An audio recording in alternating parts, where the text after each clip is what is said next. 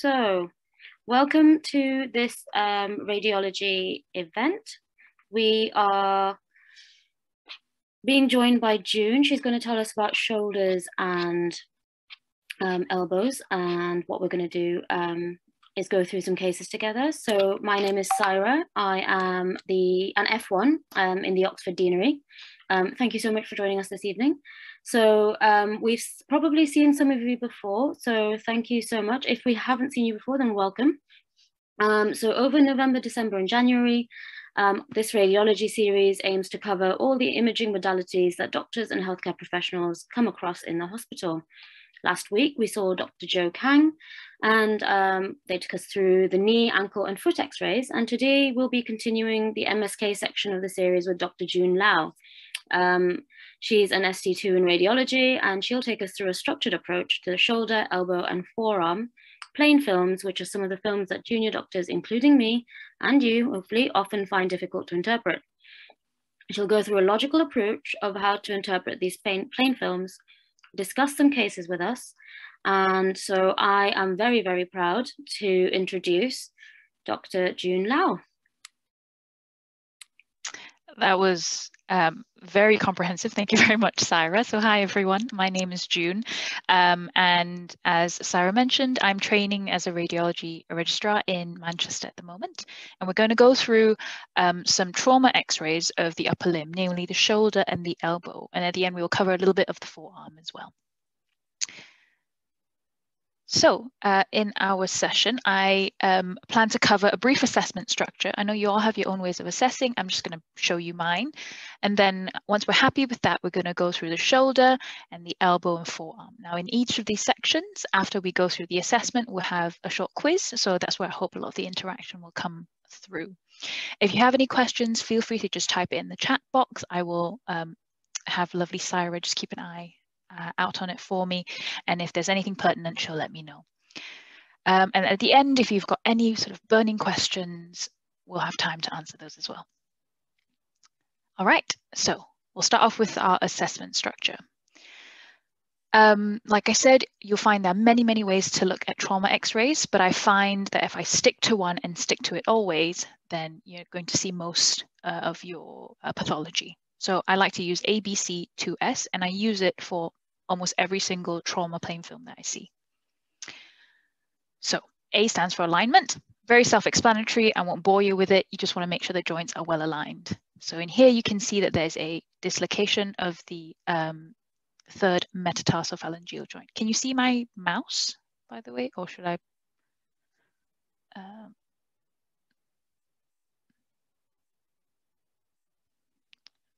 Uh, let me try again. Um, yes, so you can see my mouse. We can see the mouse. Sorry about that. Otherwise, it's going to be very tricky. There's a Thank laser you. pointer you can use as well if you want to. No, um, that's fine. I think I'm, I'm all right with this. Thank you. Um, right. Sorry. A, alignment. Happy. Moving on to B. So B stands for bones, and that is actually the bulk of your assessment, obviously. Um, and there are two ways you can look at bones. First is the cortical outline. So Normal cortex is crisp and sharp and you just want to make sure that it's same the whole way through. Start at one of the end of the bone, go all the way around, make sure you close your loop and then move on to the next bone. And if you do that, you and there is an abnormality, it often presents itself like a step. So here you can see there's a step in the cortex. And then when you notice a step, you can then obviously scrutinize it further. And you notice that there's a transverse fracture over here of the fourth metacarpal shaft. Now, um, this is a very common fracture after a punch injury. And it's also known as a boxer's fracture. Very common, especially if you're going to work in A&E and sort of um, people are coming in after they've punched someone or punched a wall. Uh, a common fracture to see in the fourth and fifth metacarpal. So Cortical outline, very useful, even more crucial in children. We all know children's bones don't break the same because they're a bit bendier, they're a bit more elastic. And furthermore, um, children don't tend to have very much bone or, or sort of ossified bone. So when you're looking at children's cortex, really scrutinize the cortical outline and any sort of irregularity, just draw your attention to it. So in here, if I can convince you, there's a little uh, bulge here. And this bulge is known as a buckle fracture, also known um, as a torus fracture from time to time. Um, and this is a fracture in a child. There's a very, very, very subtle lucent line just go across, but the most, the more obvious abnormality is obviously in the cortex. Now I said there were two ways you can look at the bones. The second way is to assess the trabeculae or the texture.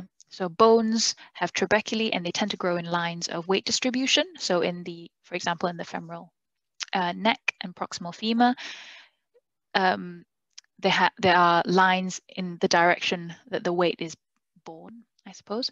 And you just want to make sure that there are no breaks in these lines that are masking any non-displaced and subtle fractures. Um, it can be quite difficult to interrogate this properly and thoroughly. So um, all I asked you to do here is just be aware of it and have a look at it. The next thing is texture. And when I say texture, I mean cortical texture. So um, when the bone is injured by anything, infection, inflammation, or a fracture, the sort of periosteal, periosteum, the cling film that surrounds um, the bones will react. And this is called periosteal reaction, very helpfully.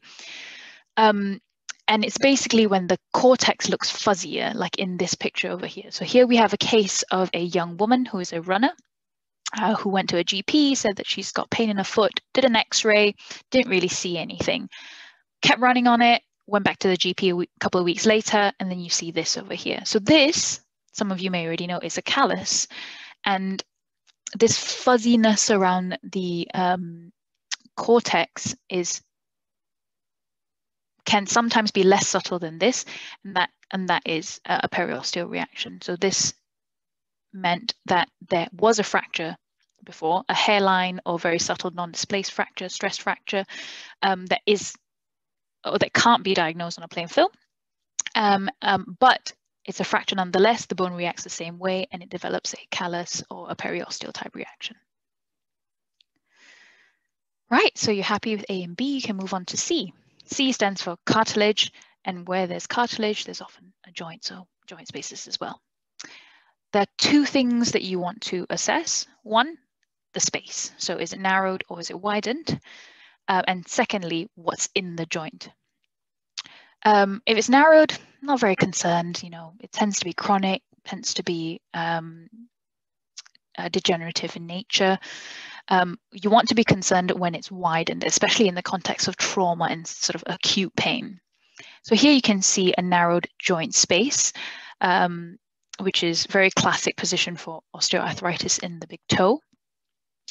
Here, we can see a distal radial fracture and a widening of this joint space here. If I can convince you, this these are all relatively uniform and very narrow, and all of a sudden you've got this gap.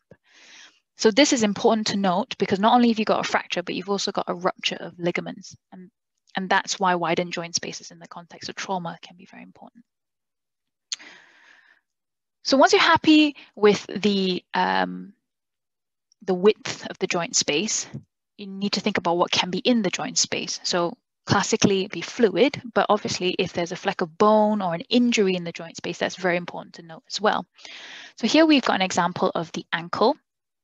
And um, if I can show you here, this looks very different to this, isn't it? So um, this is what's called an osteo, sorry, the arrows just showed up. this is what's called an osteochondral fracture. So within the joint, the um, impact of the injury has taken off uh, the cartilage as well as the bone underneath osteochondral. Now this is very important. It can be very subtle, but very, very crucial to detect because it's an articular surface and it can change the management um, of the patient relatively drastically. It can move them straight on to more invasive type management versus a conservative route. So, yep, that's C. Oh, not yet. There's also um, fluid that can appear in the joint space. Very classically, I'm sure you're all trained to look at effusions. So here's an example of a knee effusion just there. So ABC, then we've got our two S's. So the first S stands for soft tissue, and that's just a reminder for me to look at the soft tissue around the bones. Is there anything in it, any foreign bodies, any lucencies that can tell me that there's air or an open wound? Is it swollen? Is it symmetrical, etc., etc.? So And here you can see that there's increased soft tissue swelling along the um, lateral malleolus. And in the absence of a fracture, that can be quite useful because it tells you that some other process is going on, ligamentous or tendinous damage.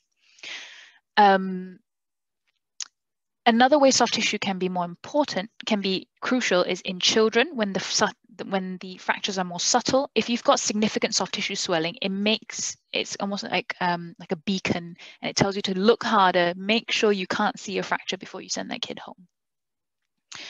Um, the second S stands for special review areas, um, and each X-ray has got a they've got different anatomy, so there are a couple of review areas that are become more pertinent. For example, in a C-spine X-ray, this little soft tissue region in front of the spine is one of the special review areas. And then there are special things we need to look out for in the shoulder and elbow X-rays, which I will go through with you in a moment. And that's it. That's A, B, C, and 2S. Does anyone have any questions before I move on?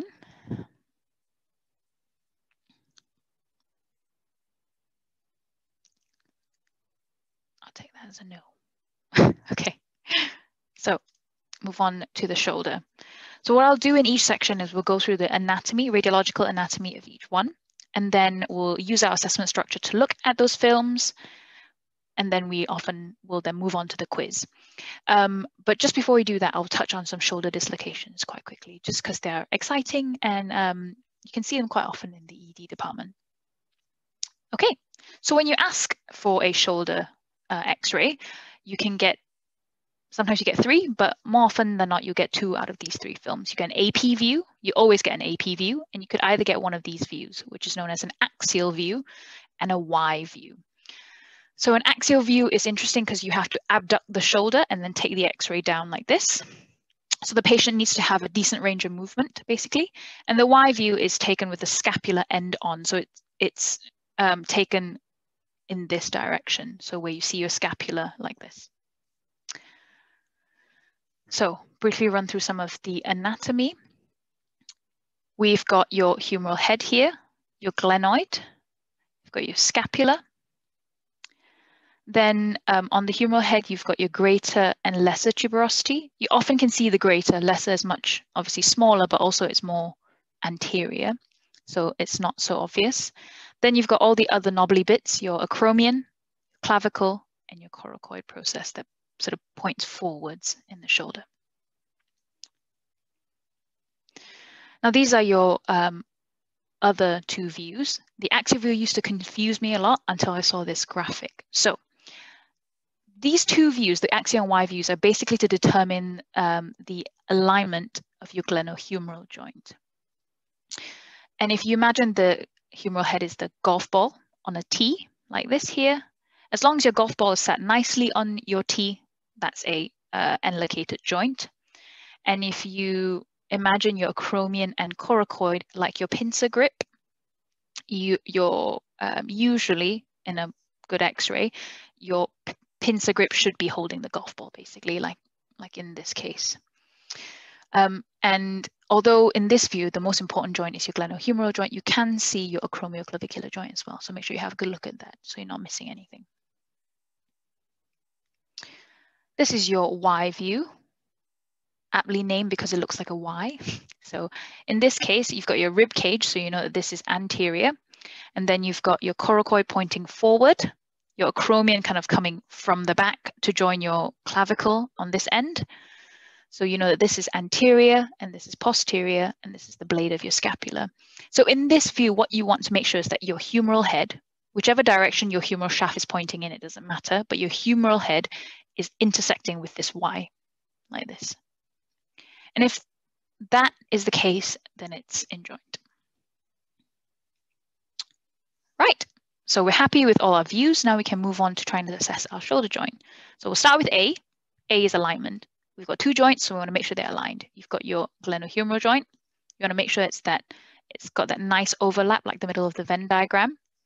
Um, and then you've got your uh, acromioclavicular joint as well. The way you make sure it's in joint, first of all, if it looks in joint, then it probably is. But if you really wanted to be specific, then you could draw um, a line from the inferior border of the clavicle to the inferior border of the acromion. And if it forms a, a relatively smooth line, then it's in joint. And again, these are the two views to check our joint alignment as well. Golf ball on your tee and your humeral head is in the middle of your Y. Yep, so once you're happy, you can move on to B. Self-explanatory, make sure you look at all the bones. You've got your humerus, your glenoid, your clavicle, all your knob knobbly bits, your coracoid, or acromion, but don't forget your scapula. So people often ignore it because it looks like it's behind something else, but you can actually see the entirety of the scapula on a, on a good shoulder view. So make sure you just look at it, make sure there are not gross abnormalities, it's not fractured and things like that. Once you're done, you can then move on to C, joint spaces. So there's two joints and they're going to be two joint spaces. Um, the acromioclavicular joint is in the same alignment. So you just want to make sure this is not too wide. There are very specific measurements, but no one uses them because every every one is different. As long as it doesn't look too wide, not you're you're not um, concerned. Now in the glenohumeral joint, the joint space you need to look at is actually here. So it's underneath the acromion, aptly named the subacromial space. Because because of the overlap of the actual glenohumeral joint, you can't really tell joint distension based on this alignment. You, you want to be looking at this alignment. So if there's joint distension, then this space will increase.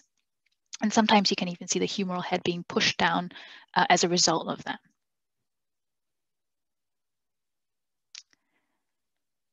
And then we can move on to our two S's. So soft tissue, not just this soft tissue outside the bone, but remember you've got soft tissue here as well between your arm and your rib cage. And here is often where you'd see the first signs of surgical emphysema in the cases um, of further injury. Um, and on the shoulder, it's quite easy. You've only got one special review area, which is to make sure you look at all of the x-ray. Um, um and by that, I mean, make sure you look at this bit of the x-ray as well. So your chest, it's almost half of the X-ray, but oftentimes we forget. Uh, oftentimes we forget to look at it. Um, so make sure that in the bits of lung that you can see, you can't see any gross uh, lesions. And the ribs that you can see, make sure they're not displaced. And a very common thing um, to miss is a pneumothorax. So someone's got, they've fallen on their shoulder um, and you think they're um, tachypneic because of the pain, but really they could be having a pneumothorax. And the only image you've got is a shoulder x-ray. So it's worth looking out for. Right, so that's how you look at a shoulder. Before I move on to the quiz, I said I was going to talk about shoulder dislocation. So really quickly, get a bit of interaction from the crowd. I want you to tell me which you think is more common, an anterior dislocation or a posterior dislocation. And if so, can you tell on an AP film?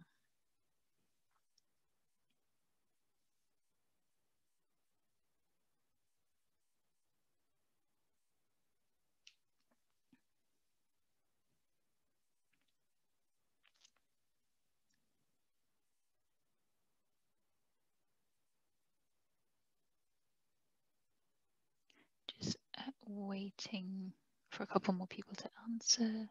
But looks like you guys have got the gist.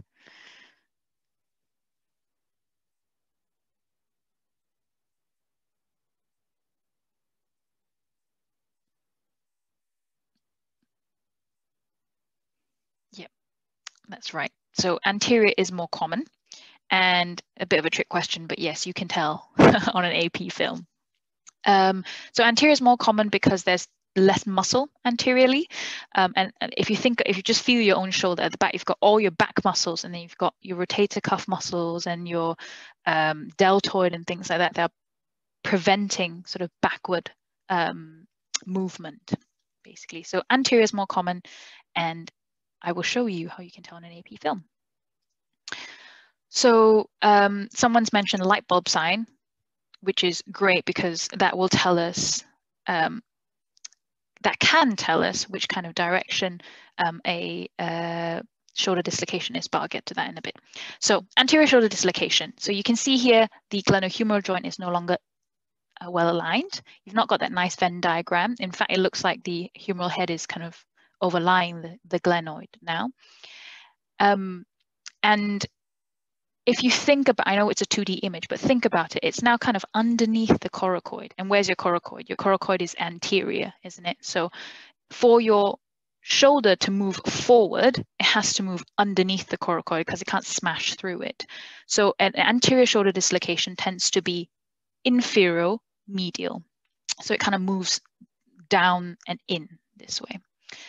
Um, and you can see that on this Y view here, your humeral head is no longer in the middle of the Y, and it's actually underneath the coracoid, which will prove it's an anterior dislocation. And this is a posterior dislocation. So very helpfully, it's showing that sign that your colleague mentioned, the light bulb sign. So it looks like a light bulb as opposed to a walking stick. Um, however, I don't know if you've ever seen shoulder x-rays where the shoulder is internally rotated. It can also look like a light bulb. So it's not terribly specific or sensitive, shall we say. Um, but what's more important here is, oh, it looks, it looks like it's actually still in joint, but it's not because look how posteriorly positioned it is. It's now under the acromion. It's under the acromion and a posterior dislocation doesn't have the, the, the impediment of the coracoid, so it tends to move back and upwards as well. And it's shown here. Again, you can see the humeral head is no longer in the middle of the Y and it's moved upwards and right underneath the acromion. So this is a posterior shoulder dislocation. Quickly summarize, on an AP view, for an anterior dislocation, it tends to move down and inwards, and posterior doesn't have the coracoid in its way, so it just moves up and out. On a Y or axial view, the anterior dislocation moves towards the coracoid and your posterior moves backwards towards your acromion. And that's it.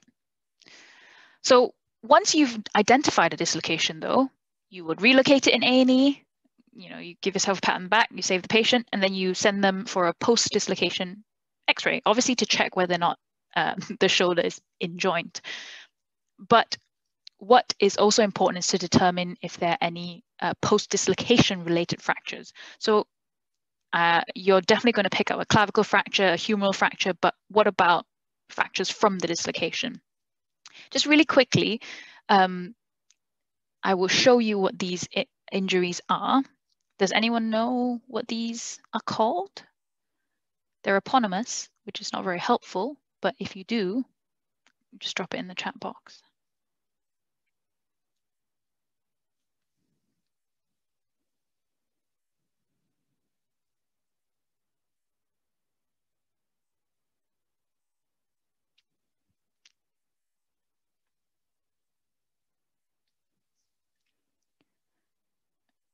So these are called um, Hill-Sachs and Bankart lesions. So you get Hill-Sachs lesions. Um, well, both of, both of these you get from anterior dislocations. So Hill-Sachs lesions happen when you've got your glenoid, you've got your humeral head. The force of the dislocation pushes the head forward, but you've still got all your muscles and you know if you've not torn all your ligaments intact. So what happens is that reverse force um, pushes the posterior superior bit of the glenoid against, sorry, the humeral head against the glenoid, and then you get this notch type fracture over here. Um, and this is called a Hill, Hill-Sachs lesion. And it's just important because if patients have further pain um, that uh, related to the um, dislocation, it can be because they've got a fracture, basically.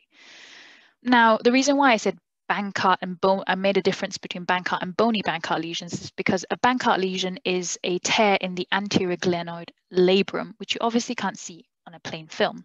But if that force is so great that you not only tear the glenoid, but you also shatter the front bit of your uh, bony uh, glenoid, not just the labrum, then you get what's called a bony Bankart lesion. Now, these are more important to pick up straight away because it's an articular surface. You want to um, and you want to make sure that that um, the orthopos or the patient is aware that this has happened so that management can be tailored towards this specific fracture.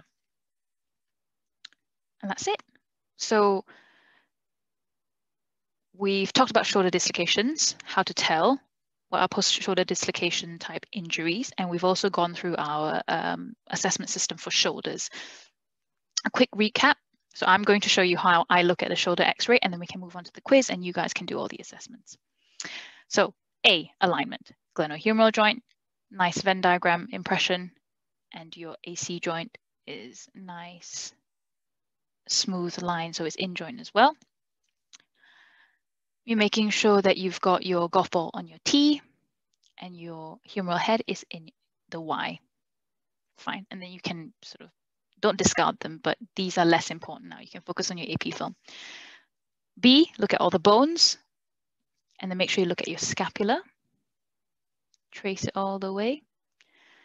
C, I'm looking at my joint spaces and my cartilage. So this joint space is fine, this joint space is fine. And then my 2S, my soft tissues, looking at the soft tissues outside, checking for any swellings, foreign bodies, any surgical emphysema over here, over here. And then my special review area, making sure I look at the rest of the film, so the chest as well. Looking at all my ribs.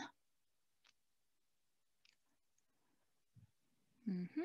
And then making sure this lung looks relatively unremarkable, no lesions or um, no pneumothoraces. So the lung markings go all the way to the top.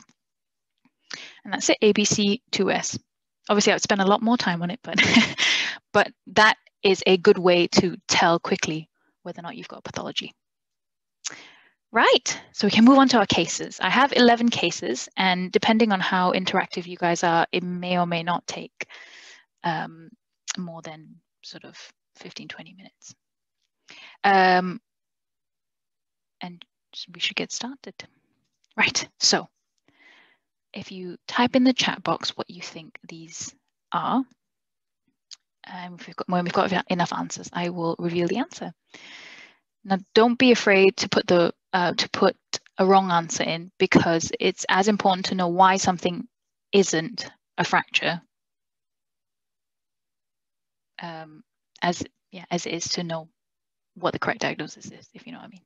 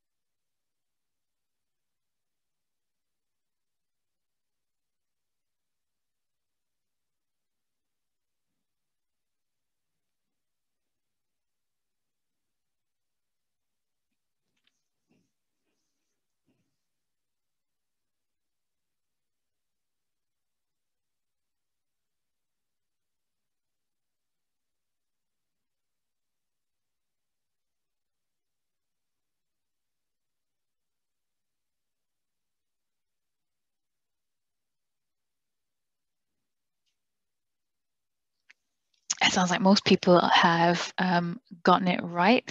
And this is a AC joint dislocation or disruption, so to speak. So you can see here very nicely, you've got, you don't have a fracture, but your um, AC joint is no longer aligned, shall we say.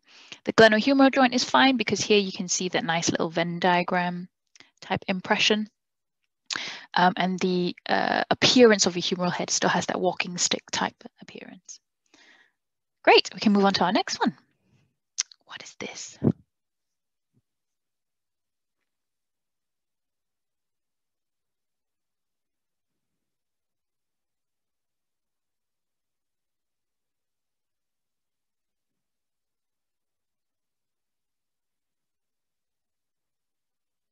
most of these films have one abnormality. If they have more than one, I will tell you, and then you know you guys are aware and know where know to stop looking.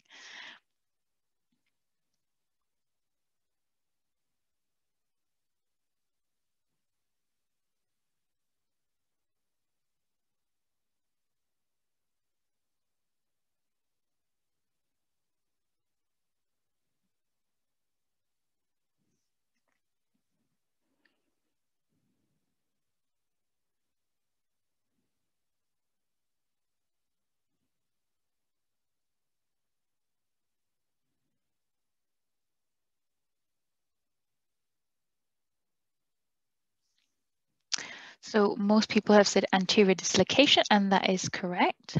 So here you can see the humeral head is underneath the coracoid process, and this is a Y view. Your Y is here, and your humeral head is here underneath the coracoid. So this is an anterior dislocation. Um, yeah, there we go. Next. So again, there's only one abnormality in this one.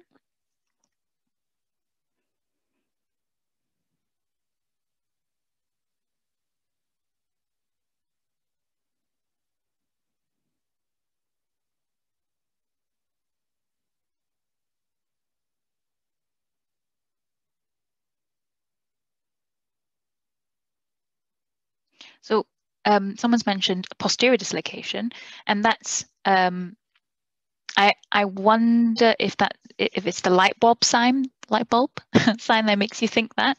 But if you look here, it's still got that nice overlap between the two. So this is still an a, a, an in joint shoulder, basically. But that's what I mean, as in if you internally rotate the shoulder, it looks like a light bulb, but it doesn't always mean that it's posteriorly dislocated. Yeah, okay, so people have seen it now. It's a fractured scapula, look at that. This here, it's a comminuted fracture of your scapula. Look how badly it's fractured. But if you don't look at it, it's not, it doesn't come sort of straight at you. So why is it important? Another question for you guys. Why is it important to identify a fractured scapula? And how is it different from any other sort of fractured bone?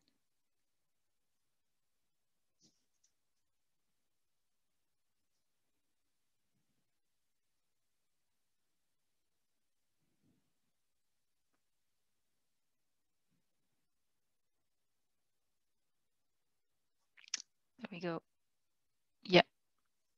Someone's uh, said the right answer, which is the mechanism of injury.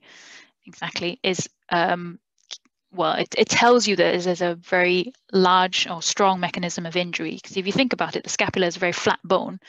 And usually when we injure our long bones, you get force that comes up and travels. But to fracture your scapula, it's very unlikely you're going to hit one of the edges, isn't it? It's a force that's come this way. And to, to shatter it, you've not only have to pass through all this back muscle, your traps and your lats and everything else that's there, but it's also got to be a large enough sort of area of force to shatter it. So that implies that there are going to be other injuries, potential internal injuries as well. So if you see a fractured scapula, in any case, however subtle, you need to consider more um, either cross-sectional imaging or more thorough imaging of the rest of the region. Well done. Oh, uh, someone's mentioned a rib fracture. So are you looking at this here? I don't know, I can't count. Two, one, two, three, four, five, six, seven, eight. Yeah, so that unfortunately is just lung marking, but a good shout on looking at the ribs and making sure you're not missing out rib fracture as well. Next, you guys are doing very well. You've been listening. Okay, what's this?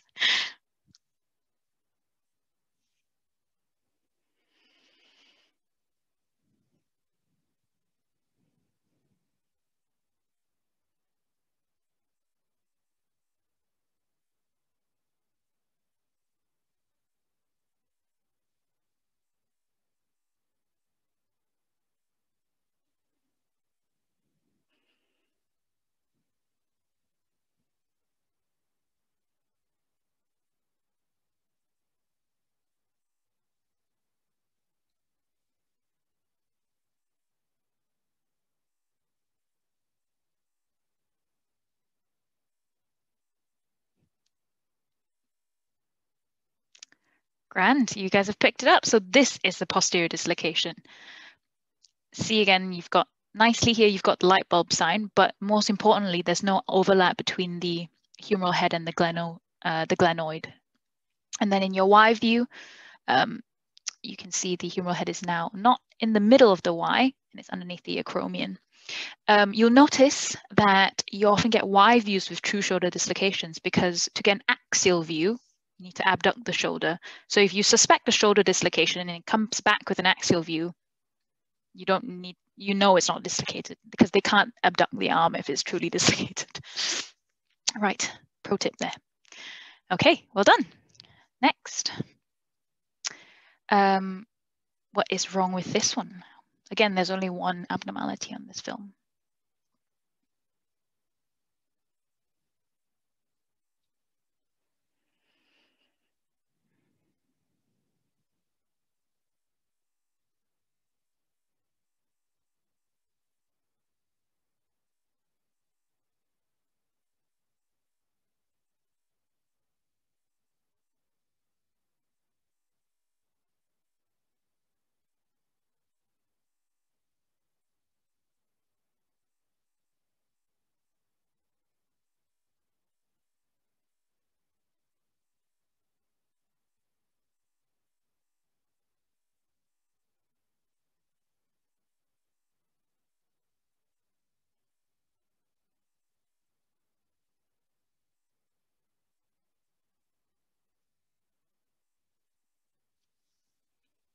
Yep.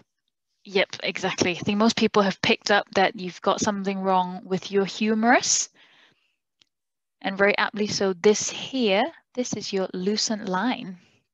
And this, like I said, you can often see the greater, greater tuberosity, lesser tuberosity is much smaller and it often overlaps with the rest of the bone. So this is a minimally displaced or non-displaced greater tuberosity fracture. Well done. Often happens in older people when they fall on their shoulder. That's the first bit that they fracture, along with the clavicle as well. Next. So there's two abnormalities um, in this. They're all within the same region, but um, try and see if you can pick it up.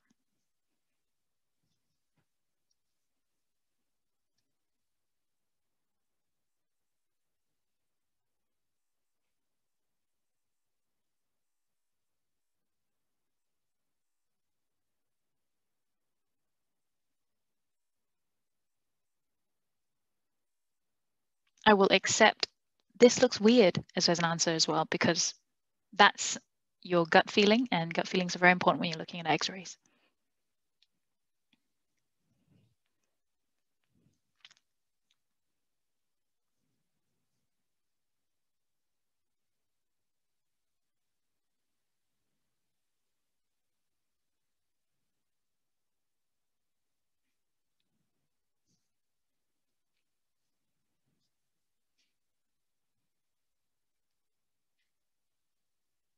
Oh, okay, we've got quite a few answers and they're all slightly different, which is very exciting.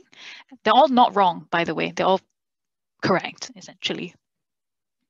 Great, so, okay, so this is a humeral head fracture, of humeral neck fracture more like. So here, you can see the humeral head over here, and then it kind of stops here and all of a sudden you've got the neck.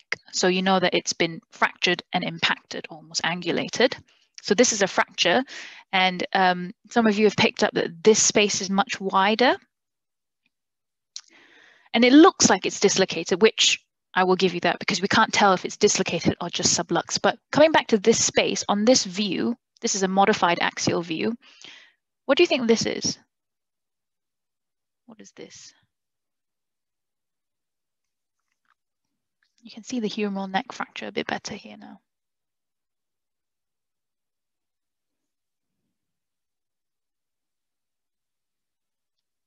Someone's mentioned fluid level. Yes, it is a fluid level. Fluid what level? is it it's it's less dense. It's not quite as dense as this. Uh, sorry, it's not quite as lucent as this outside, but what what else could this be? It essentially is a hematoma, but what is this? This lighter bit up here. Does anyone know like a specific name we give to these kind of joint effusions.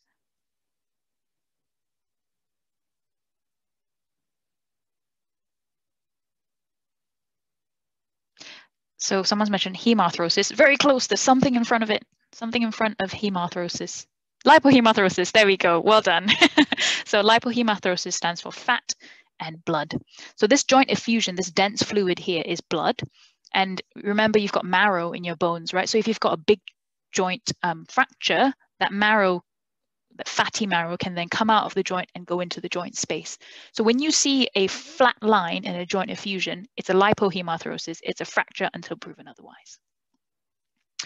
But I mean, you can see the fracture here, but um, in more subtle things like knee, uh, sort of tibial plateau fractures, sometimes you can only see a lipohemarthrosis, so it's important to uh, remember it. Well done. There we go. Fracture of the humeral neck with subacromial lipohemarthrosis. And the case I got this from said it was pseudo subluxation, so not a true dislocation. But in reality, you can't really tell unless you've got the patient to move their arm, which they probably can't, or you've got another better view. So well done for those of you who, who said it was an anterior dislocation as well.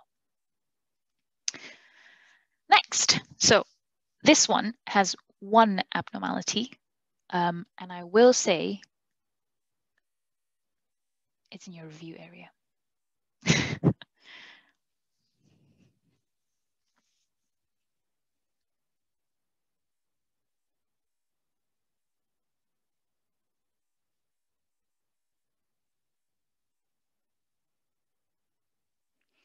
So someone's mentioned AC joint disruption.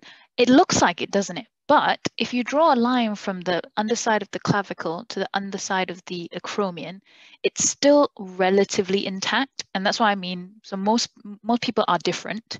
And as long as it's relatively intact, it's acceptable. And it doesn't look too dislocated like the first case that we saw. So that is um, acceptable. But good thinking. It does look a bit odd. I agree.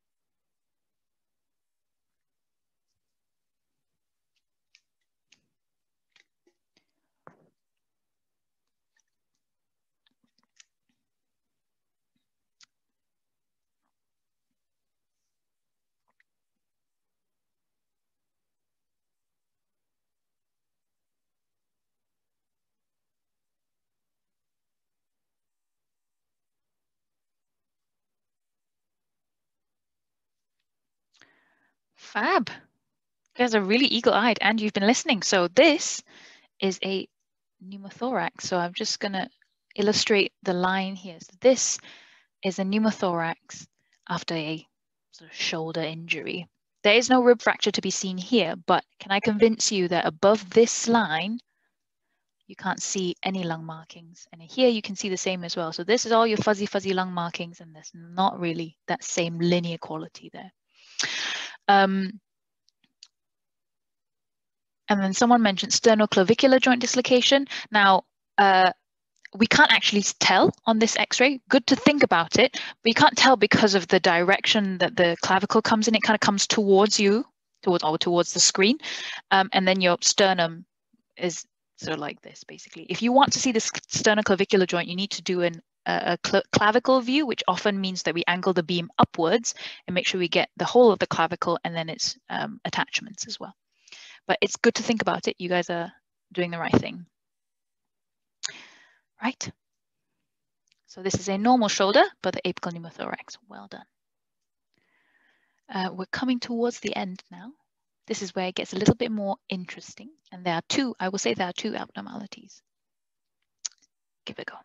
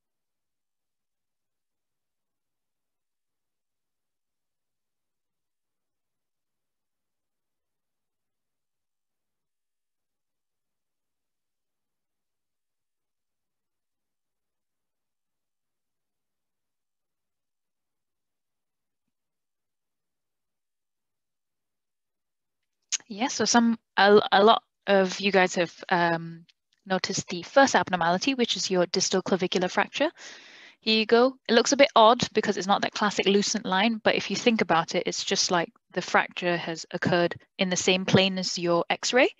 So this is what you're seeing, and you can see this lucency through it, like that. Well done. I agree, this part of the glenoid looks a bit odd, but it's um, it's basically just degenerative change. Good on um, whoever who picked it up though, that's great. And with regards to open, whether or not it's an open or closed fracture, unless there's surgical emphysema and a, and a, and a, and a soft tissue defect, it's very difficult for us to tell. Obviously, that's where clinical colleagues are very important. You can see whether or not there's a wound associated with the injury. And it looks like some people have seen um, the second injury, but I will hold off a little bit just to give you guys um, uh, a bit more time. And again, it's in your review area, like I mentioned. So this, this abnormality is a bit more subtle and it's in, in, our, in our review areas.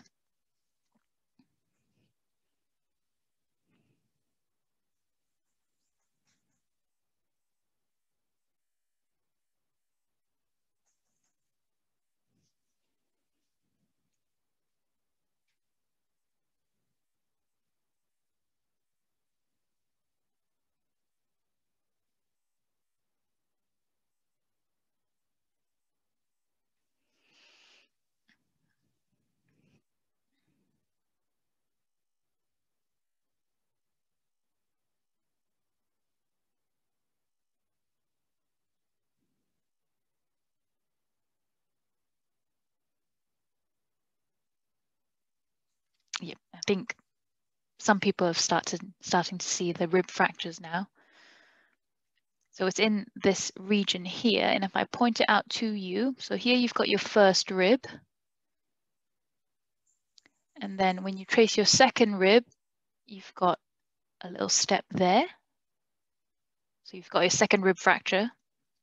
Then you go on third rib, and then this is even more subtle, but you've got a fourth rib fracture as well here. So this this is the fourth rib fracture. It's very subtle.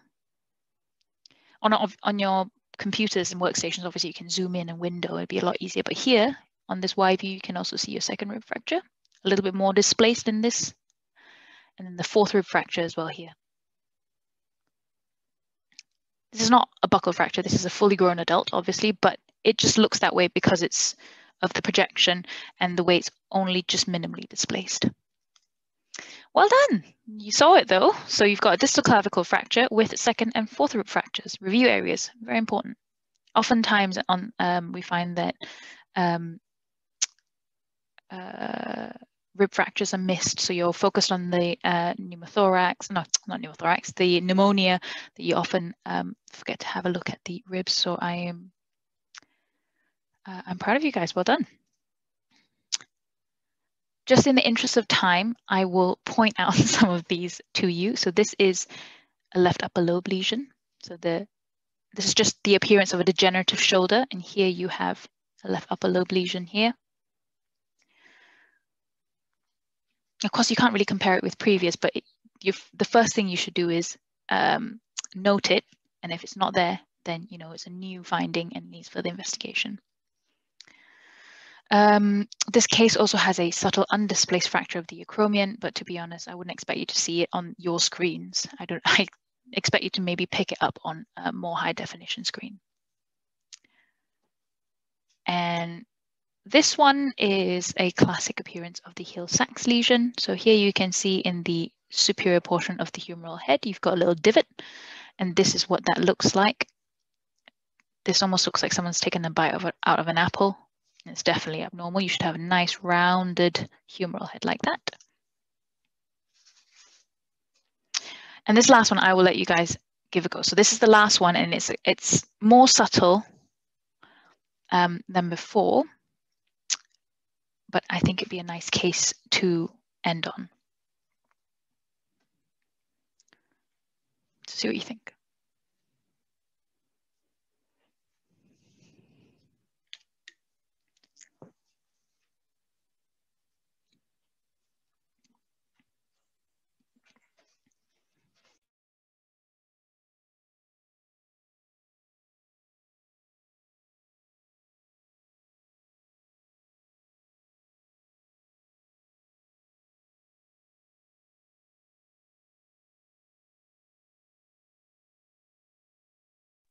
Yay! It looks like most people have seen it. Well done. You guys are scapular experts now. So this is a scapular fracture.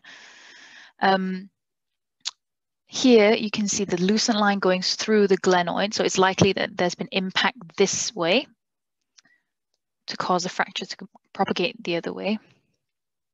Um, and you can kind of see it propagating throughout the uh, rest of the scapula. And on your Y view, very helpfully, you can see that there's a disruption of the nice smooth blade of the scapula.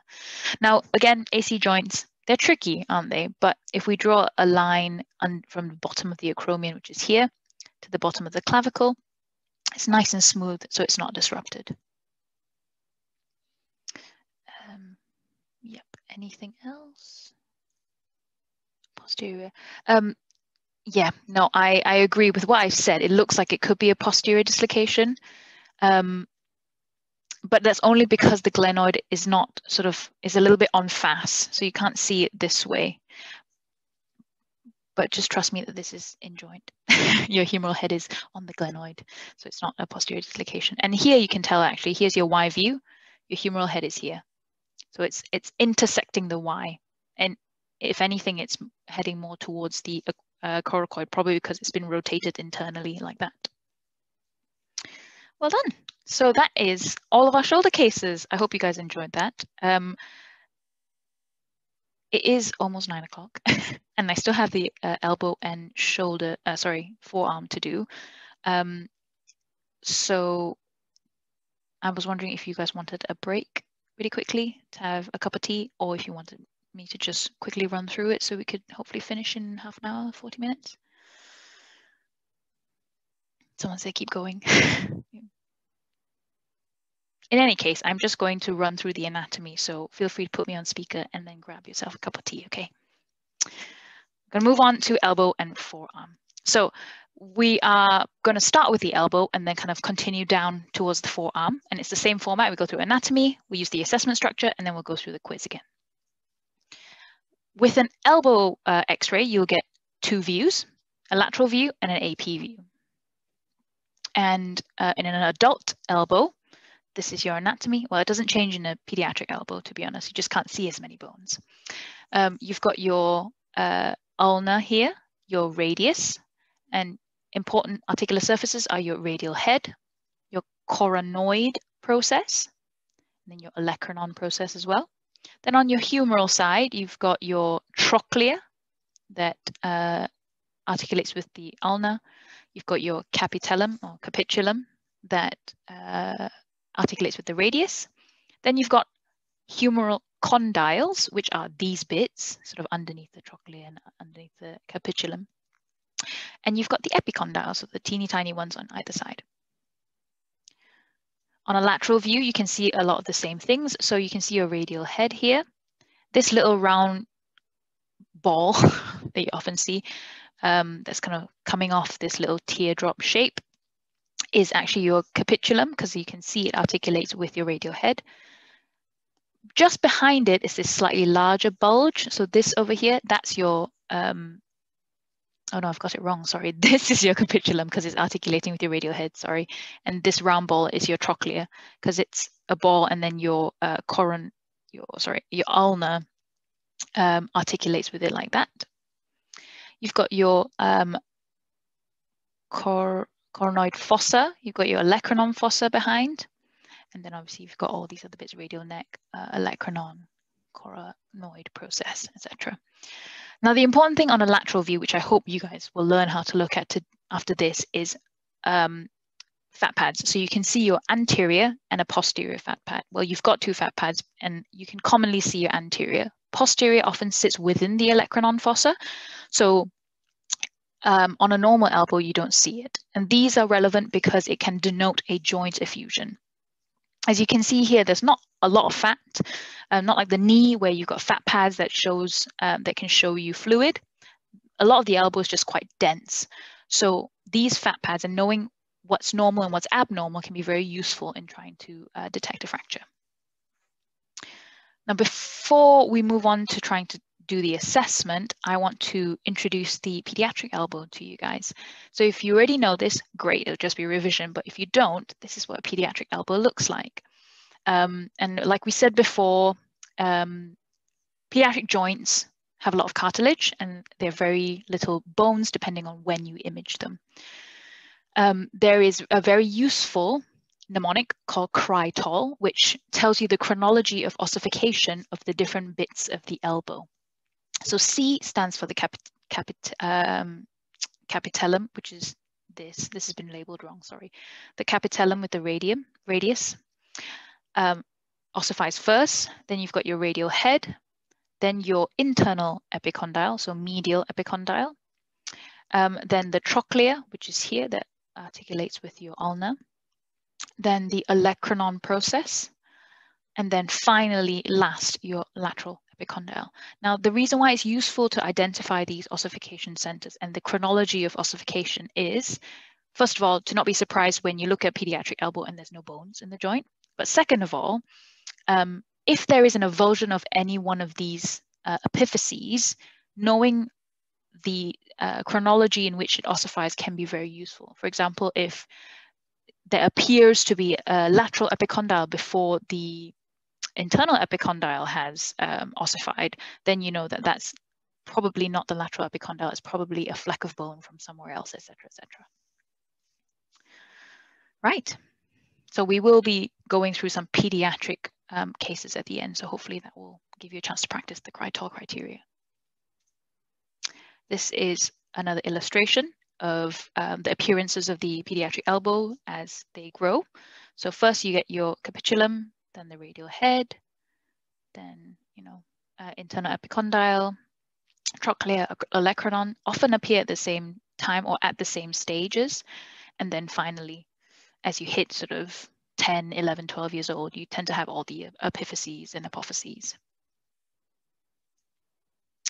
Now we can start assessing our elbows. So I like to start with the lateral because like I said, you can tell um, if there are fractures based on whether or not there's a joint effusion, but also it's very useful with alignment. So again, in the elbow, we've got we've got one main joint, but we've got three bones, don't we? So we need to check that all of these are aligned. And there are two very useful lines in the elbow called the radiocapitellar line, which is uh, drawn from the radial neck all the way back. It needs to intersect the capitulum right in the middle. And then you've also got your anterior humeral line. So if you draw a line from the anterior uh, border of the humerus all the way down, it needs to intersect at least the um, a third of the capitulum. So it can be within the middle third of the capitulum. And this is useful because radiocapitellar line tells you whether or not the radius is in joint or if it's dislocated. And anterior humeral line will basically tell you if there has been a fracture of your supracondylar process, uh, supracondylar region here. Then once you're happy with your alignment, you can move on to bones. Once again, you've got three bones, so just trace them really well and make sure you can see um, a nice thin cortex.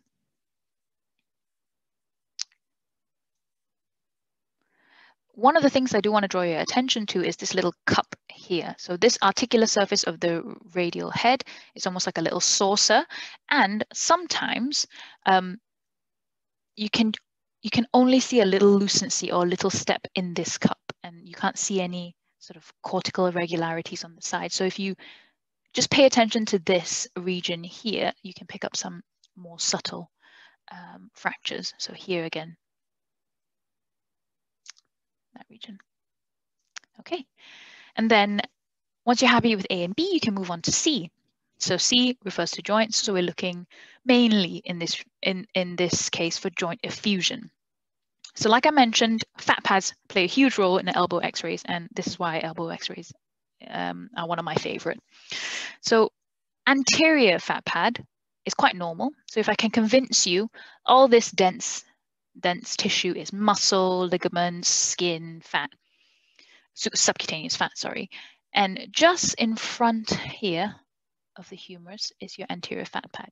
Now, if you can see it, it can be normal because it should kind of gradually flow from the top of your uh, sorry distal humerus all the way down, sort of disappearing into the joint. It shouldn't be obvious at all. So there, there's an illustration. It almost looks like um, a sail, but like a closed down sail, so it's not sort of open and in the wind. Um, but when it's raised, that's when it has a more um, sort of right angle triangle type appearance. So this is more sort of closed triangle. Um, and I will show you examples of them. Now, I've talked a lot about uh, the anterior fat pad. So the posterior fat pad, like I said, lives in the olecranon fossa. So you should really never see it. There's so much bone overlying it. Um, it's not really visible when it's normal. When it's abnormal, a lot of the um, fluid from the joint effusion can then travel into the olecranon fossa and push that out. So if you ever see, so this looks like there's a lucency here, but this is just what we call a Mach effect, where when you've got something really bright next to something less bright, you, your brain makes you think there's a darker line in between. But if there is like a triangular or a, a bulkier, darker line behind your humerus, then that is a posterior fat pad and it's always pathological. That always means there is a fracture. Okay, so I'll give you examples. These are examples of joint effusions. So before I highlight them, this here, this is your raised anterior fat pad. And this, very different from that Mach line we saw. This is more bulgy, it's more uh, lucent. This is a posterior fat pad. Same here, anterior fat pad. It's almost like pushed up that way. If you imagine your triangles this way, it's been pushed up like that. It's more sort of right angle and this is your posterior fat pad here. And there it is highlighted for you. So if you're, like I said before, this is a raised anterior fat pad, and this is a posterior fat pad.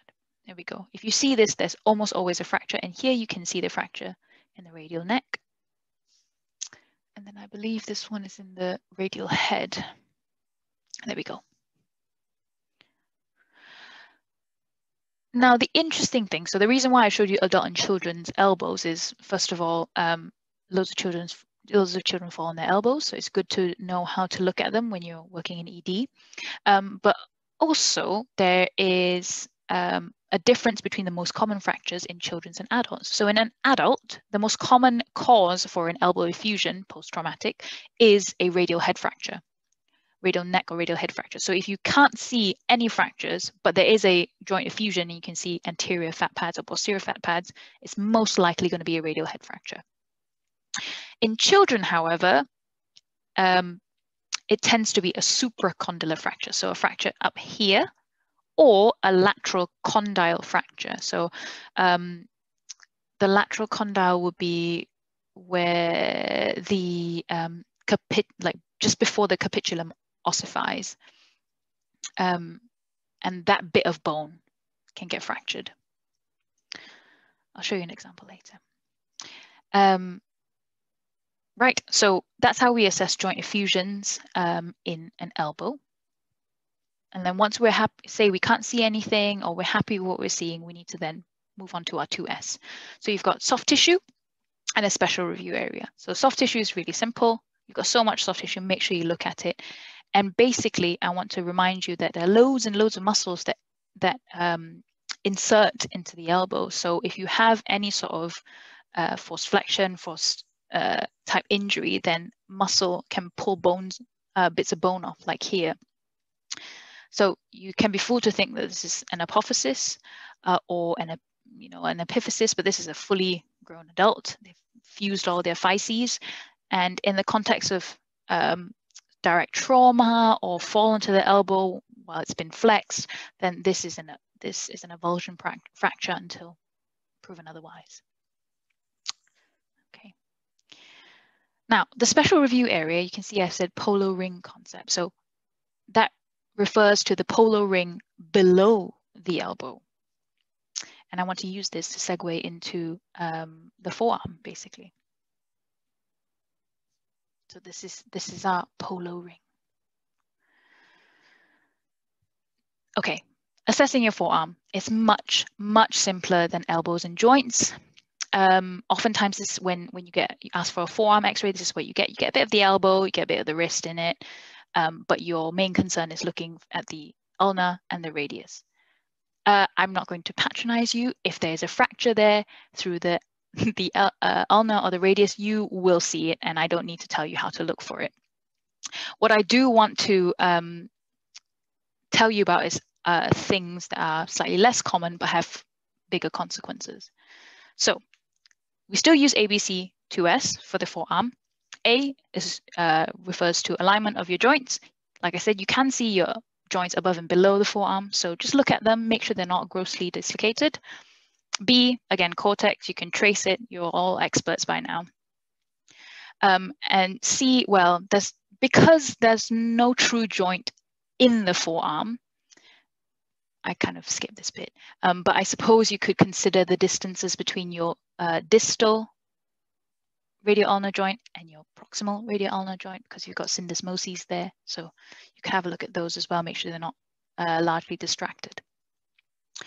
But um, we can move very quickly on to um, 2S uh, in the forearm, basically. So soft tissue, same concepts, make sure there's no irregularity to show uh, to denote laceration, no surgical emphysema, no foreign body. Um, and then once you're happy with that, you your special review area is this polo ring. So I'm sure you've heard it to death. A polo ring doesn't just break in one spot. If you've got sufficient energy to uh, break one side, it often causes another injury on the other side as well. So this is um, where I introduce you to the Monteggia and Galeazzi fracture dislocation syndromes.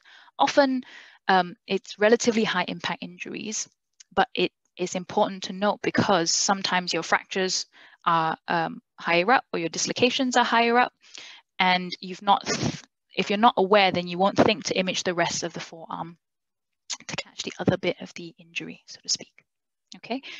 Um, again, I hate eponymous names, but there is a way to remember this. So um, the way to remember which is which is by this mnemonic called mugger, like someone who steals stuff from you. Um, so MU stands for Monteggia, and the U is the, uh, it describes which bone is fractured. So it's really silly, but this is how I remember it. Uh, a mugger comes, injures you, so M it injures you and fractures something, so that's the ulna. And then it they take away your wallet, so your wallet's small. And so the dislocation of the opposite um, bone is at the smaller footprint. So you get a fracture of your ulna and a dislocation of the radial head. Because if you compare the radial, distal radial footprint to the radial head, the radial head is smaller. So that's how I remember it. It might be a bit silly, but so a Monteggia fracture dislocation, you get a fracture of your ulna with a radial head dislocation. So you can see here, if you've just gotten your elbow, you might miss this uh, ulnar fracture. Um, so it's important to be aware of it and make sure you get the rest of the forearm. Moving on, our Galeazzi is the exact opposite. G for Galeazzi, R for radial fracture, and the dislocation is of the ulna where it's smaller, so the distal ulna here compared to you know the big olecranon process on the other end. So this is your is your Galeazzi fracture. And that's it. That's your elbow and forearm. Quickly uh, recap how I look at the elbow, and then we can move on. Um, sorry, elbow and forearm, and then we can move on to our cases. Hope you guys are still with me. So, A alignment. We want to check our anterior humeral line, our radiocapitellar line, um, uh, and then B for bones, so make sure we're checking every surface we can see, including this radial uh, head surface. Make sure we're looking up in the supracondylar region as well.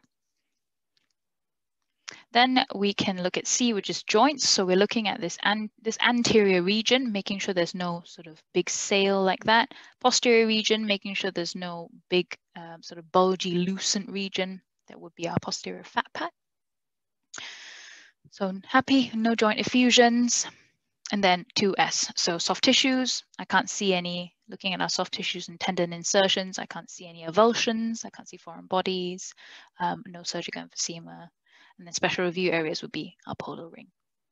So there's no fracture here and nothing to make me suspicious that there's a distal injury. Quickly, same thing again with the elbow, uh, sorry, the forearm. Um, you're looking for alignment. This looks well aligned, that looks well aligned. Hey ho. Bones, making sure you trace the shaft well, especially in children, because this is where you can get sort of distal uh, buckle fractures or green stick fractures or more subtle type of um, injuries. Um, C, hmm, suppose look at your uh, radial ulnar joints. And then 2S, so soft tissue and the special review area. Make sure this polo ring is nice and intact. There you go. So we've got 12 forearm uh, and elbow cases. Um, and we'll see how we get on. And then we may or may not uh, just quickly go through the last few if uh, we run out of time. Fab. Okay. So let's give this a go.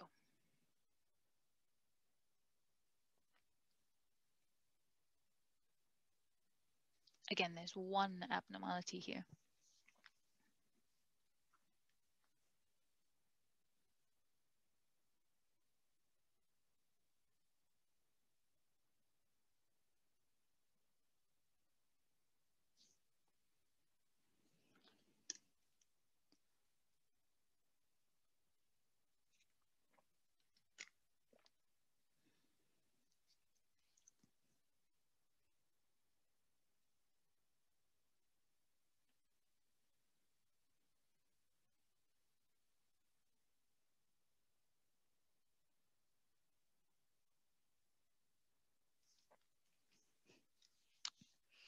Yeah, looks like a couple of people have spotted it. It is uh, an olecranon fracture. So this is the main thing here. You've got a lucent line through your olecranon. Yep, vertical fracture, fantastic. And it's also slightly comminuted, if I can convince you here. There's one piece here and one piece here. Well done. And that is a little bit of soft tissue swelling around the elbow. If you think about your own elbow, it's quite thin over here, isn't it? So any sort of swelling in this region should point towards true soft tissue swelling, unless it's a child and they've got chubby arms. But this we know isn't at least a skeletally mature uh, person. Um, the raised anterior fat pad is a bit more subtle, uh, and I will put my hand up and say that. So that's this here. So this slight lucency there. But I don't blame you if you didn't see it. Well done on picking up the fracture. There we go. Fracture and this, this here, this is your fat pad. Just made it a little bit more contrasty. Next.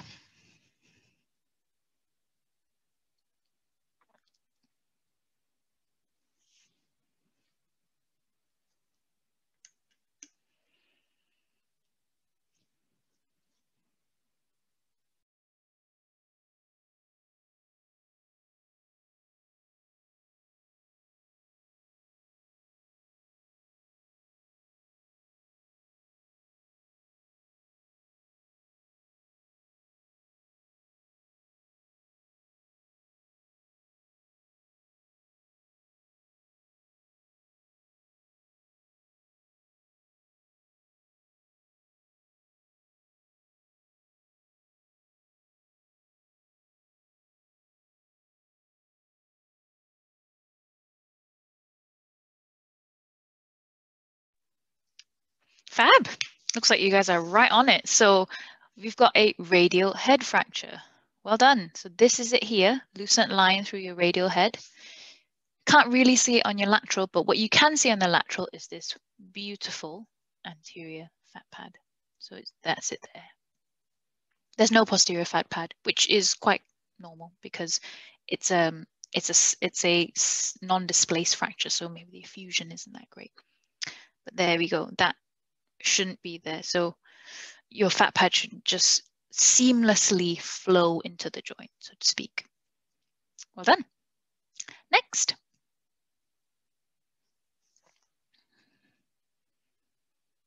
Also, um, I like what you guys are doing, telling me whether or not there's a fat pad and then whether where the fracture is. That's great. That's exactly how you should be thinking.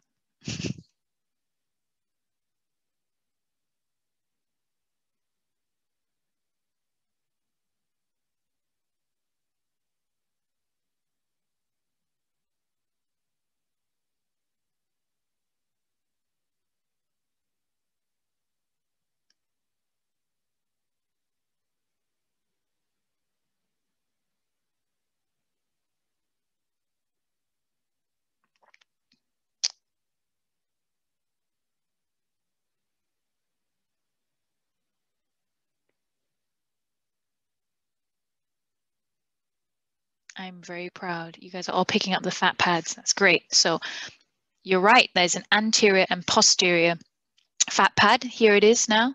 Nice right angle lucency here. And then this little bulgy bit at the back, lucent posterior fat pad. So you know there's a joint effusion in the context of trauma. Where's our fracture? That's the question. So um, I think some people mention whether or not there's dislocations. Um, that's my fault. This is not a true AP view. It's almost like an oblique view. So that's where things can look a bit odd. So the, the olecranon itself is fine.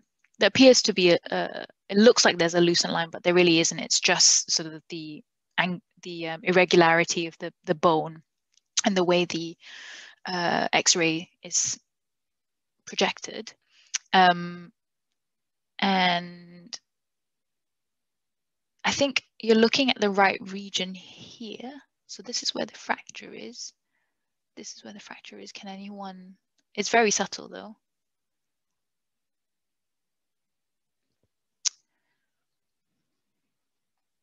It's not the radial head.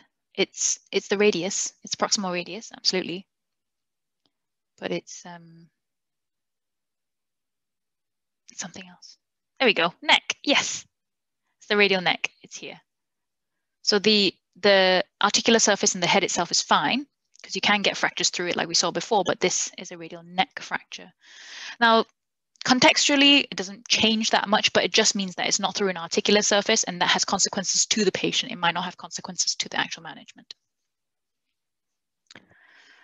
That's all right. Okay, so well done. So this one isn't dislocated because your anterior humeral line is nice and straight. It goes through your capitellum, which is this bigger bit, not the small one. The small one is your trochlea. Uh, and then your radial head is in joint as well because it's slightly angulated, like I said, but it articulates well and the line is, it passes through the capitellum. There we go. Next, again, apologies for this oblique view of the um, of the radius of the elbow, sorry.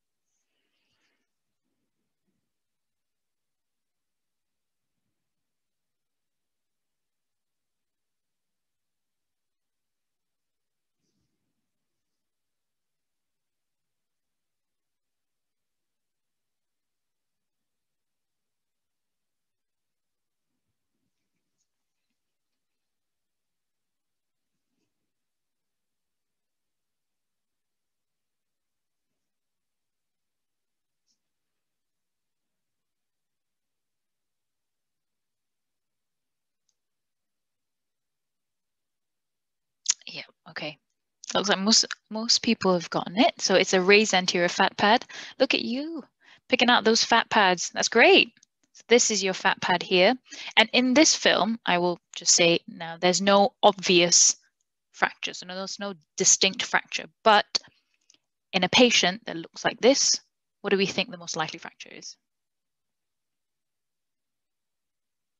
Oh yeah, the lateral epicondyle. This is the lateral epicondyle here.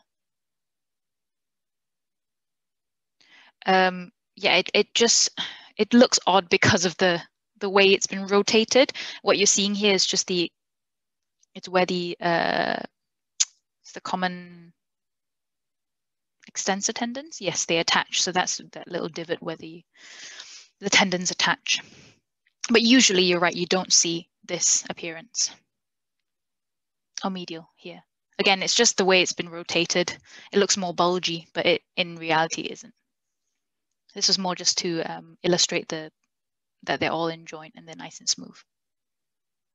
There we go. Yes, sorry. The um, yes, in a patient that's skeletally mature, um, the most common fracture is a radial head or a radial neck fracture. Proximal radius. Well done. So if you see this, treat the patient as a fracture, immobilize them, refer them to a virtual fracture clinic because something's going on.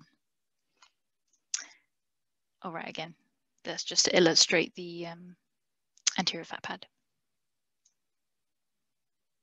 Aha, okay, what is this?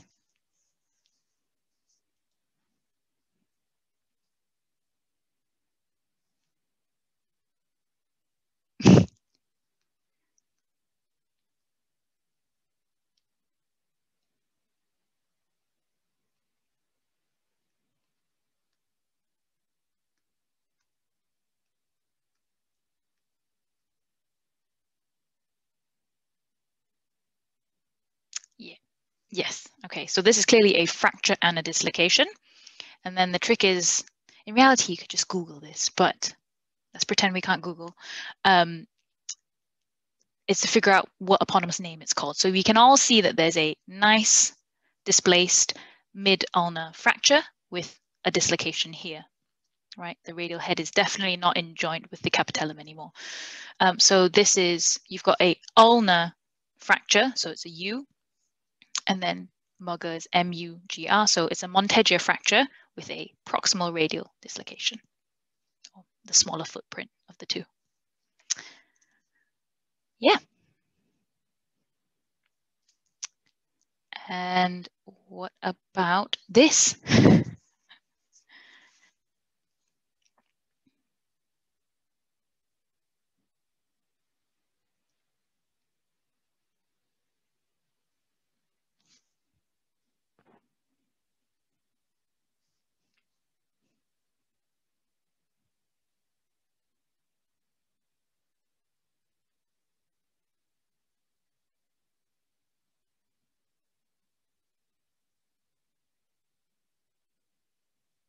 Well done. Yes, exactly. So it's a Galeazzi fracture, or very aptly put, a radial shaft fracture with a distal ulnar dislocation. You can also do that, um, but it's known as a Galeazzi fracture. So your fracture is of the radius, uh, so R, so Mugger GR, and then the ulna is dislocated, and it's dislocated where it's smaller, so it's the distal um, ulna over here. Right, so we're moving on to some pediatric elbows now. Um, the concept of assessment is still exactly the same. Uh, so I just want you guys to give this a go and see whether or not you can pick up the abnormalities. Just trying to demystify the pediatric elbow. You have done you have done very well so far.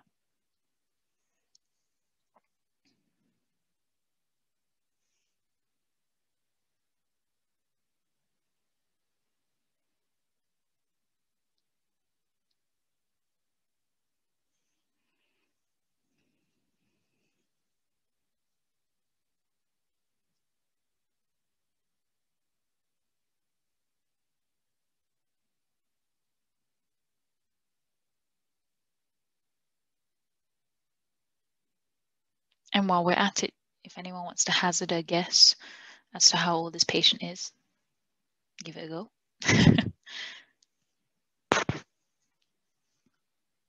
oh, yeah, someone's asked me how old the child is. Um, so the ossification centers are normal, so I want to say that they are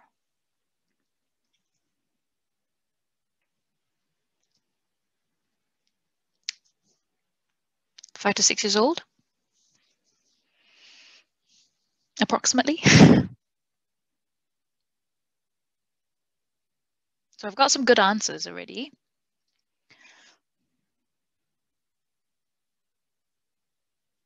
And if I don't know if it'll help, if I just tell you that this is your capitulum, because in CRITOL, C comes first. So C is ossified. Um, it's the first to ossify. So that's your capitulum there. That's your radial head epiphysis. This is your internal epicondyle.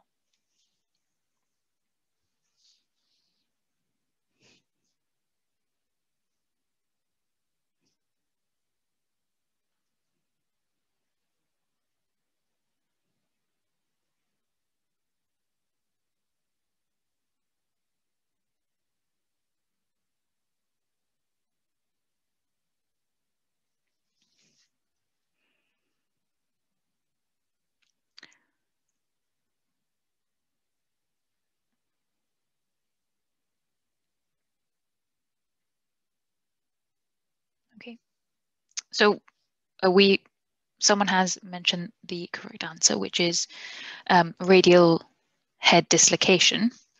And here, if I draw the anterior humeral line, you can see, yes, it bisects the cap capitellum or capitulum. So there's no supracondylar fracture. In any case, there's not really a good going fat pad. Um, but if I draw the radiocapitellar line, it's not, it's nowhere near the capitellum. It's kind of intersecting the, the notch here. Um, and this view looks a bit odd, doesn't it? It looks like the radius is sort of closer to the humerus, and that's because it's sort of dislocated out. Um, so this is a radial head dislocation. So you've got a disrupted radiocapitellar line. Um, now the olecranon looks a bit odd, but it's probably because the ossification center hasn't come up yet. So it looks shortened. So I understand why you think it looks a bit irregular because C-R-I-T-O-L is kind of the fifth ones, well, the fourth and fifth ones um, to ossify. And this patient has only got three. So it's still got a lot of growing to do before you see an uh, olecranon uh, epiphysis. Okay, what about this one? So tell me where the fracture is and how you, so what other features there are there.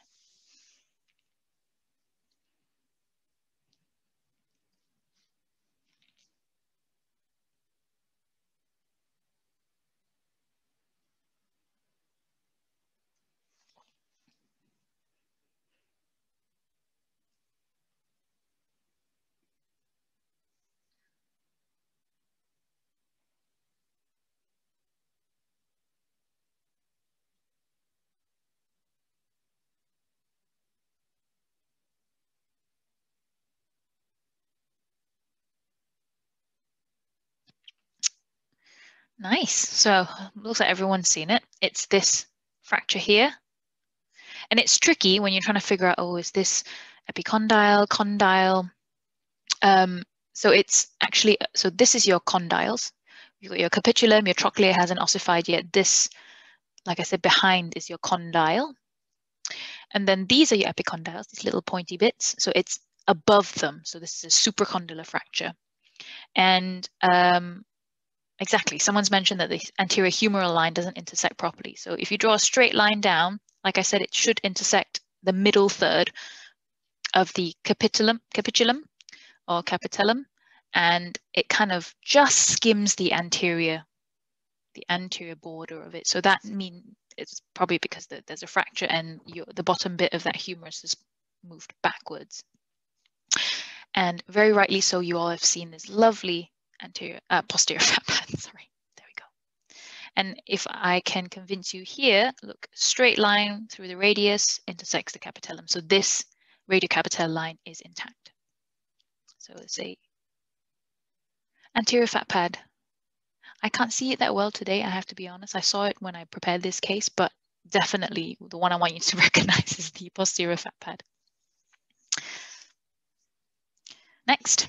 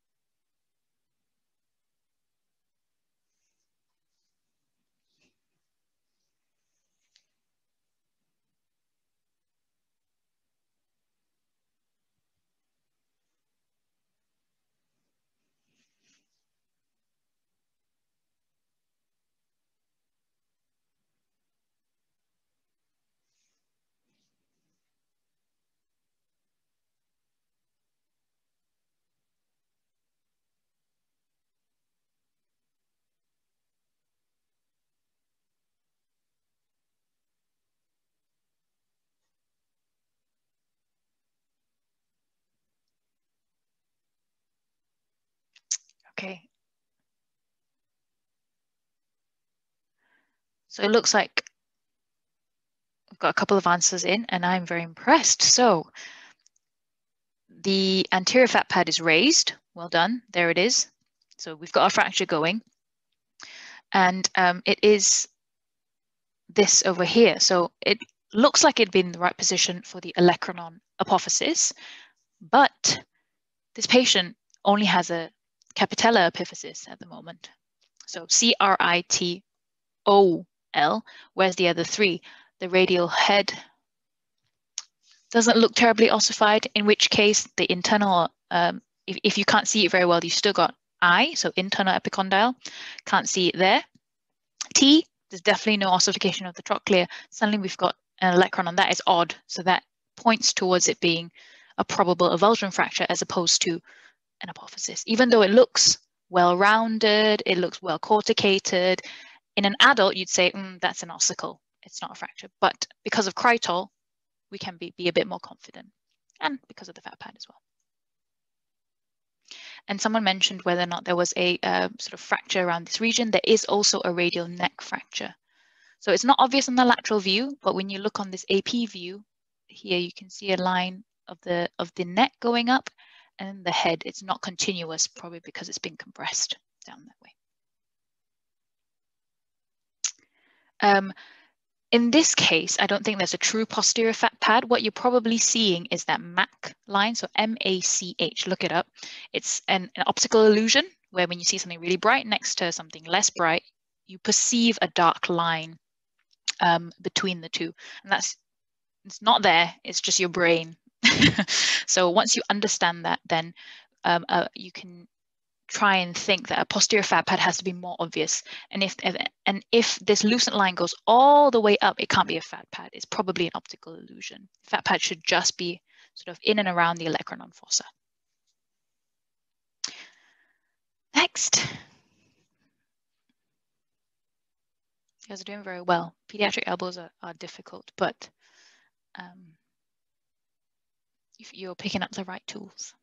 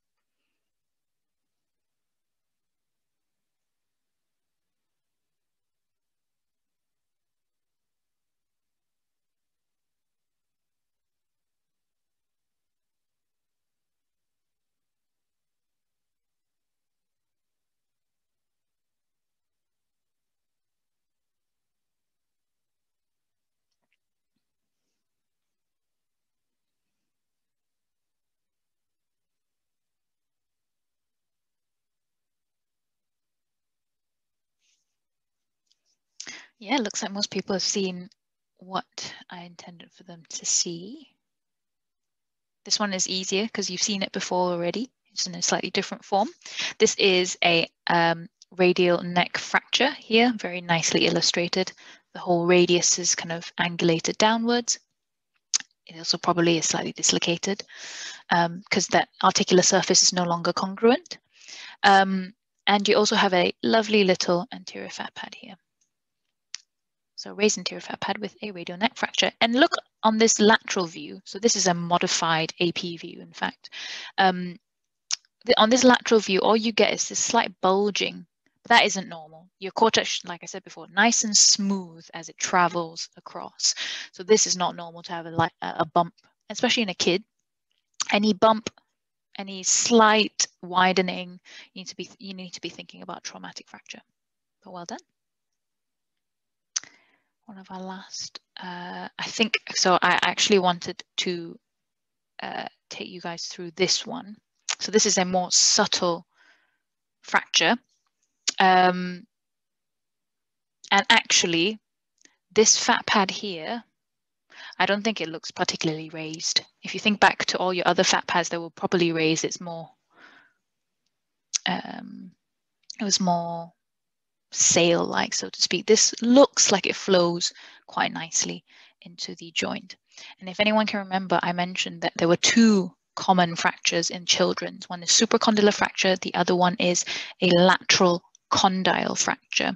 Now, um, and they only happen when your, uh, I suppose your physes haven't fused yet. So in this child, you can see they've got a, capitul a capitulum. There's a very faint, tiny bit of radial head, and then you've got your internal epicondyle. So they may be about four, six years old. And they have a fracture and it's here. So it's this very, very faint line at the lateral condyle. Epicondyles are here, not, not um, ossified yet. This is a non-displaced lateral condyle fracture. And um, I realized when I was doing sort of training that we don't place enough emphasis on this and it's as common as a supracondylar fracture uh, in children.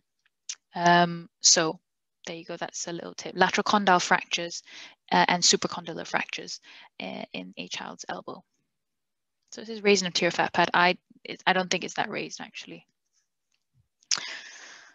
Okay, um, let's see. Yeah, there we go. Just highlighting that lateral condyle fracture.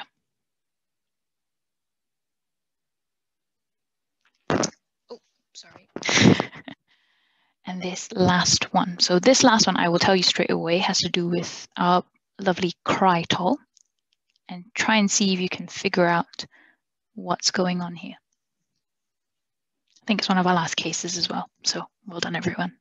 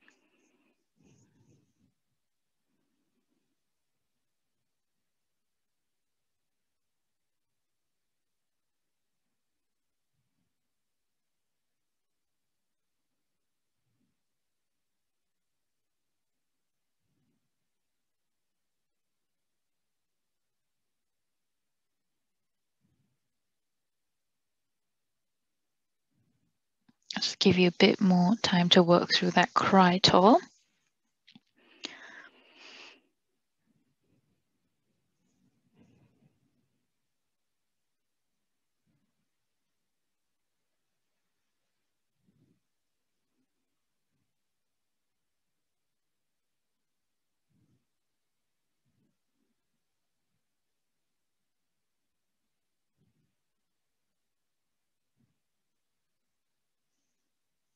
Oh, we've got a few answers, so that's good. Can always work through them.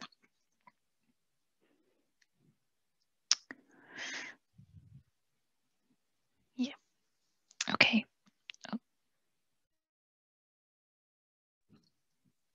Right, so let's work through CRITOL then. C, capitellum. So that's this here. R, radial head. And that's, you can see that capitellum, radial head. So CR. I, internal epicondyle. So internal is medial. So it's on this side. It's not there, fine. Um, T, trochlea. So trochlea should be next to the capitellum. And I suppose this is it. It's a bit small, but that's normal because it's one of the last few to ossify. Um, and then you've got L, lateral epicondyle, C-R-I-T-O-L, olecranon, sorry, olecranon here, and then L. So it's odd that we don't have our CRI internal epicondyle. Um, so then we need to look and figure out where it is. So if I can convince you, this here, it's strange. It's, what is it? You don't have a coronoid ossification center. This is your trochlea. So the trochlea shouldn't be far away from it. Sorry, the, the epiphysis shouldn't be too far away from the lateral condyle. Um, you've got your O and uh, your L here. So O and L are here, which means the only explanation is that this must be an avulsed bit of the medial epicondyle or the internal epicondyle. So there is a very faint raised fat pad, which is seen better on um, uh, the sort of DICOM screens with windowing. And then this is actually an avulsed segment of the internal epicondyle. So if you think about it, your internal epicondyle is where all your flexor muscles are, and that's quite strong. So the common um, insertion of the flexor muscles. Um, so it's a common, it's one of the most common uh, ossification centers to be avulsed in an injury. And commonly it would avulse and then kind of lie somewhere in the joint. So for those of you who said internal epicondyle, medial epicondyle, well done, you're correct. Um, with regards to uh, whether or not it's a fracture. So it's probably, well, this is a fracture, but everything else, this is all normal physis. Um, and in this case, so someone mentioned olecranon fracture. So in the previous case where there was only C, R, and I, and a little bit and a fleck there behind the olecranon, that was probably a fracture because um, your tro uh, the trochlea hadn't uh, ossified yet, or maybe the internal epicondyle hadn't ossified yet. So that didn't make it didn't make sense for you to have an olecranon uh, apophysis or the O bit, I suppose. Um, and in the case of trauma, it's more likely to be an avulsion fracture. Whereas in this case, where you can actually go C-R-I-T-O-L with, you know, bearing in mind that that was missing, then this is likely to be an ossification center as opposed to a, a true fracture yeah, that's the abnormality. So it needs it needs to sit here. The reason why it's bigger than the lateral one as well is because it ossifies uh, earlier, so it's got more time to form more bone compared to the lateral one. So that's why that one looks a bit smaller. And it's been avulsed by the muscle and it now lies in the joint. And that's it. You've survived um, going through the shoulder, the elbow, and the forearm. Well done, everyone. Um, uh, a quick recap of uh, the ABC2S of the elbow and forearm is can be read here. In the meantime, if you guys have any questions at all or you have any feedback, I would uh, greatly appreciate that. Uh, I hope you enjoyed uh, the quizzes and a quick run through of how to look at the shoulder, elbow, and the forearm. We have massively overrun. I do apologize on my part, but I hope it was useful. Um, let's see, there we go. Thank you for listening. I think um, Syra has very helpfully put a link in the chat box for the feedback. Um, and if you have any further questions, this is my personal email. I'm more than happy to answer. No, uh, no question is stupid, basically. But thank you very much for being patient and uh, for bearing with me. Thank you so much, Dr. Lau. That was fantastic. Um, I learned a lot. I, I stuck with it the whole time. I really enjoyed the cases. It was actually really fun to do. So thank you so much. I know I'm wrapped up here. It's freezing in my house. Um, so yeah, I've just popped some links in the chat. So the top link is to fill in our feedback form. So you will get your certificate of attendance once you fill in your feedback form. Um, to join our next event um, is the second link. So you click on that um, and that will um, be for um, the, bear with me, um, for the CTAP webinar, um, which will be on the 5th of January at 8 p.m. with Dr. Henry de Boer, um, and it will be about the basic structured approach and common cases and fit pitfalls of CT abdomen and pelvis interpretation. So the third link is to sign up to any of the other webinar series that Mind the Bleep offer. So any medicine, surgery, finance, pediatrics, and ophthalmology, click the third link.